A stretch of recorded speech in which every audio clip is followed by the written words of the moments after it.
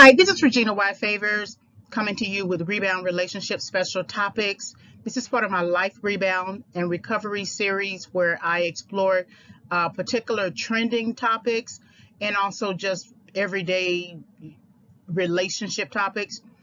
Uh, take some time to listen to this audio discussion, maybe gain some insight. If you have any questions, please leave me a comment and I will respond.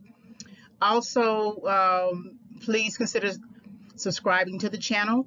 Hit the notification button if you're interested in further topics. Uh, this is Rebound Relationship Special Topics. Thank you very much for visiting the channel. So usually when you hold down a cheater, you will ride and die with ignorance. You like the not knowing. You know, maybe uh, in the beginning, at the beginning of your relationship, because you wanted the relationship to work, you wanted to know everything. You wanted to know if you guys were going to turn into something more than just a booty call, or if you were going to turn into something more than uh, a friend, right? If if if you if either of you were going to call each other a title or update, upgrade the relationship, but then when you when you find out the individual just cheats and cheats and cheats, that and then you confront, confront, confront, and the person still decides to continue to continue to continue, then you get into one of those sighs, you know, that that you're giving up. It's like breath is leaving you. And it's hard for you to to sort of reconcile while the while the person is continuing to cheat. You know, you have some of these mothers, these uh, wives rather, whose husbands have been cheating since the honeymoon, probably probably before that. And every weekend he goes and spends time with his mistress. He has a house for her. He gives her a bank account, right? You're the main wife. You're the core wife, the core relationship. But he also makes time for that other relationship um, that uh, he he seems to give more value. And so you you begin to operate in this not knowing because it's much more convenient than to fight you can't really leave because you don't really have anything going for yourself or you never put yourself first to go to school or do something else for yourself. Some of these wives have been out of work. They've been a housewife, uh, completely dependent upon their husbands. So to leave would mean they would have to downgrade their lifestyle.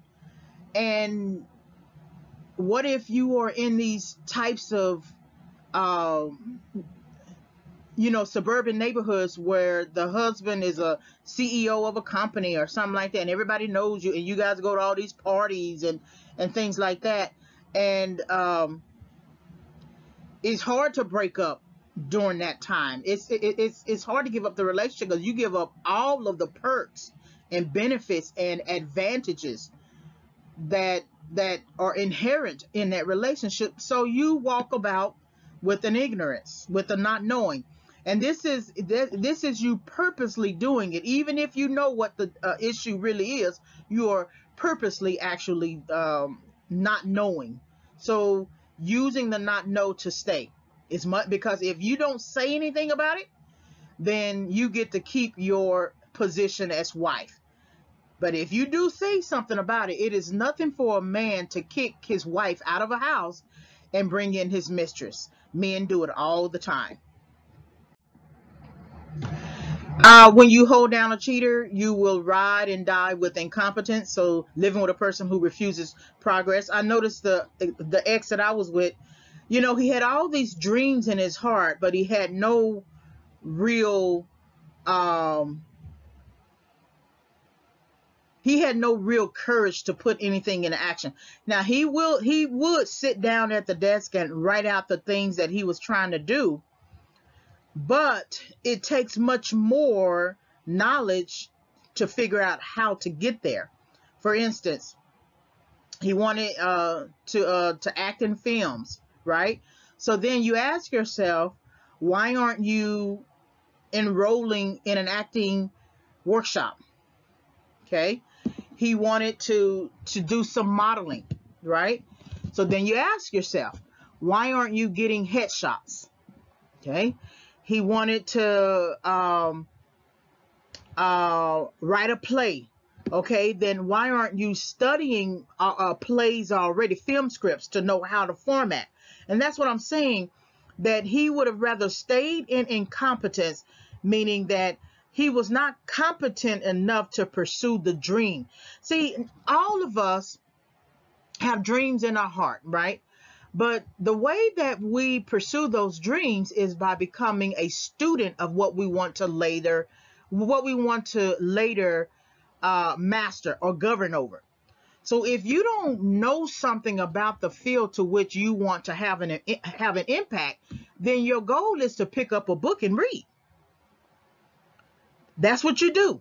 See, cheating is skipping steps. Is cheating is accumulating something that you haven't actually earned, right?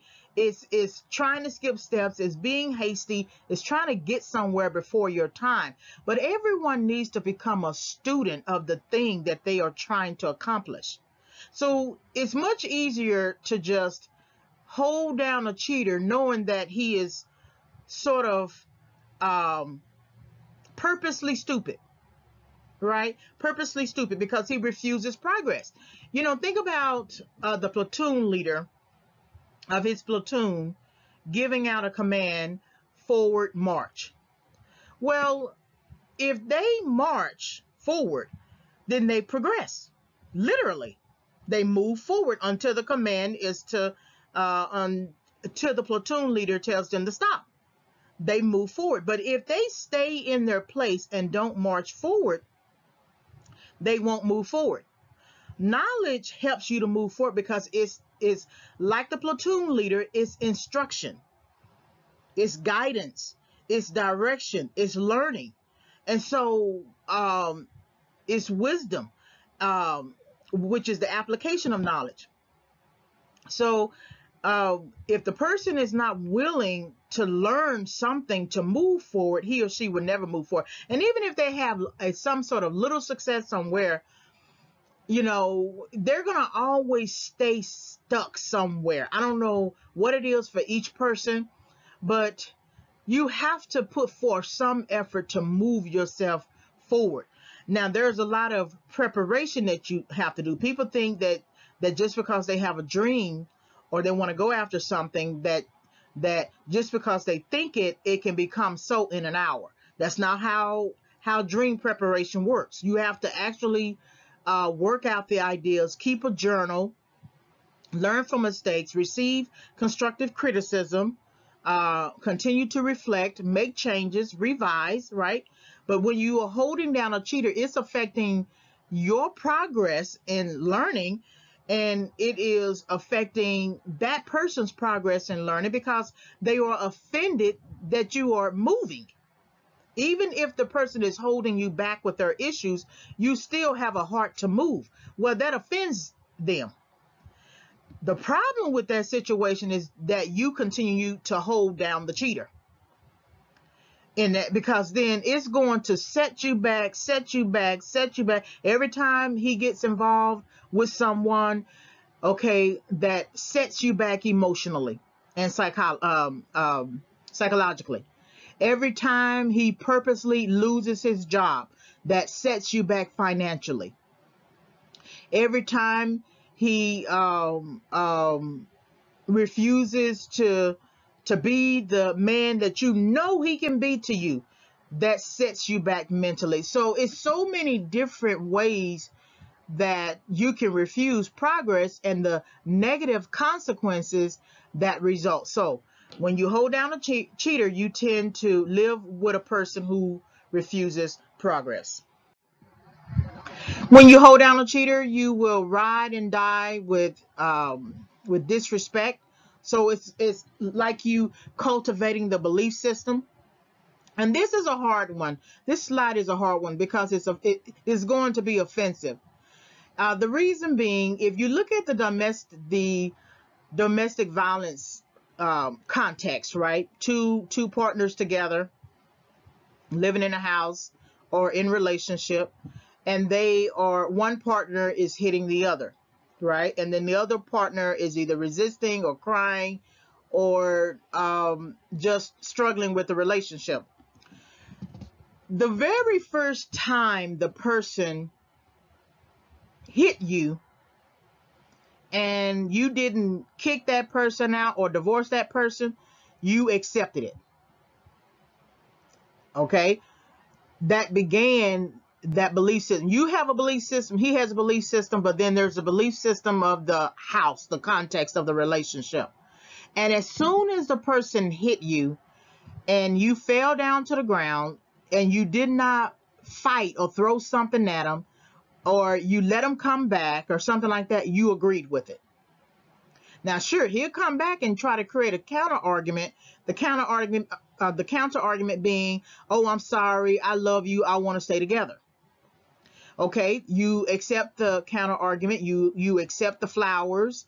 You accept uh, everything that goes with that. I'm sorry, but then in just a matter of days, he hits you again. Uh, he hits you again. When you accepted him back, uh, you agreed with that counter argument. But then when he hit you again, that was a rebuttal. That he was going, and a rebuttal is to prove something that is false. So that particular thing that he did in hitting and in saying I'm sorry, that's really false for him.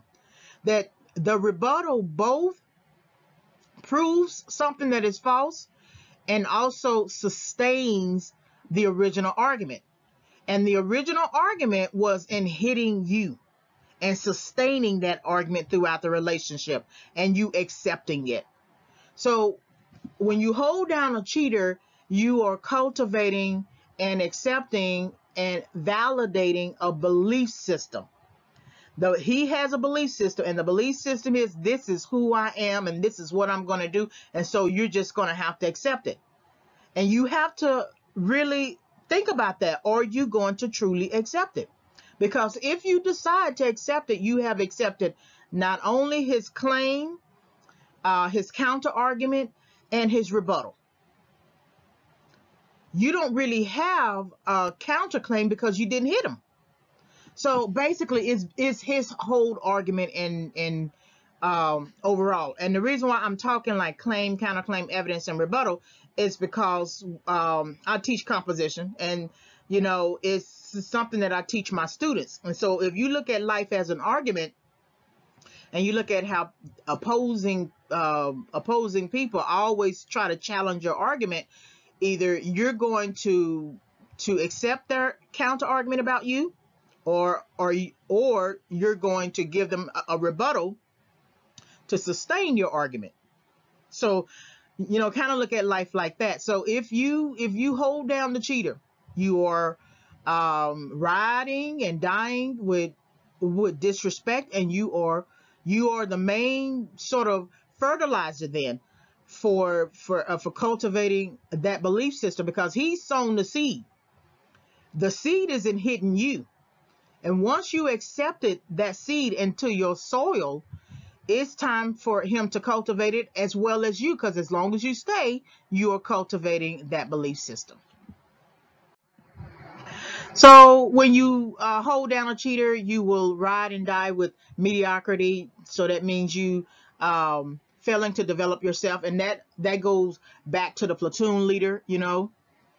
That you know the more that you hang out with a person who who doesn't have any purpose doesn't uh, believe in action with dreams to, to, to go after their dreams uh, and just basically want to be rich in life but but without any effort you are accepting their mediocrity.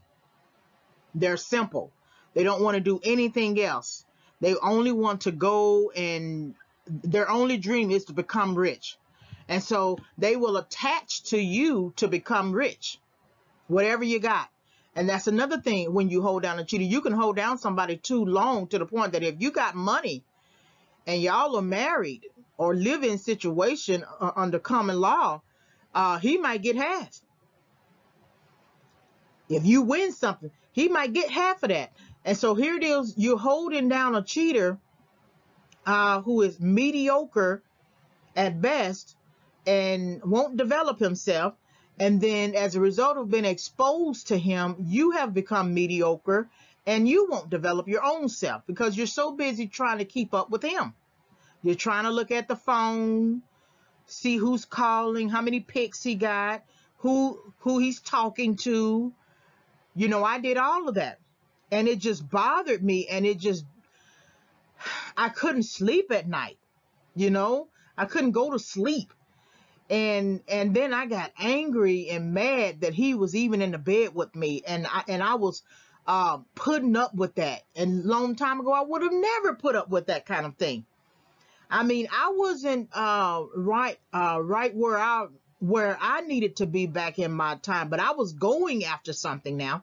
I was going after college. I completed college. I was going after uh, planning for a business, which I'm still doing now. So I was I was putting action. I was doing something. But it, you you can you can do a lot of different things, but lack development too, because development takes time. It takes reflection. It takes process. It takes learning from your mistakes. And, and as long as you are in the context of holding down a cheater, you're not really learning. Sometimes you got to take yourself out of that situation so you can see it for what it really is. All right, so here's the last one. Uh, when you hold down a cheater, you will ride and die with a fixed mindset. So that means you avoid challenges or risks. You know, in the domestic violence situation, um, sure, it is very hard to challenge someone who's hitting you, who's cussing you out, right? But you also develop a fixed mindset where you don't think you can change the situation too. And that you have people who have stayed in relationships 10, 15, 20 years still undergoing abuse. And then eventually that person just kills them, right? So you will ride and die with a fixed mindset. The longer you stay in the relationship with the person who doesn't want to develop themselves, you end up uh, um, cultivating also a fixed mindset, and you end up agreeing with their fixed mindset. So then you just stop challenging, you stop risking because every time you confront the relationship, there's some something, you know, uh, and then the longer you stay in something um, non-abusive in a sense of physical, the more you start to sympathize and and, and feel for the person and uh, want to love them and be there for them, for them and help them.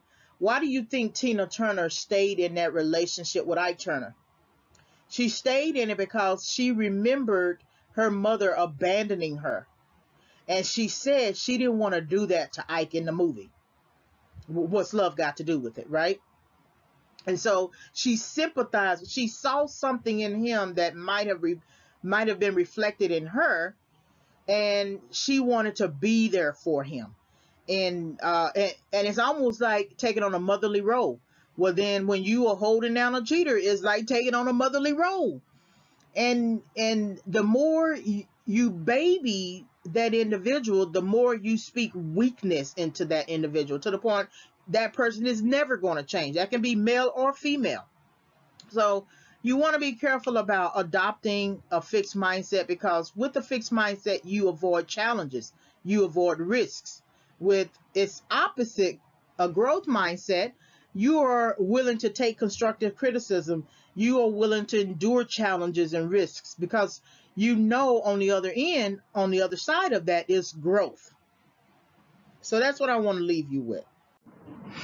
All right, so hopefully you were able to gain insight from this video discussion. Please like, subscribe, and visit. So uh, please like the video, hit hit the notification bell for more discussions. I am re-uploading all of my audios, uh, so I, I, needed to make some changes to them. Uh, you can visit my my website for more content at reginayfavors.com.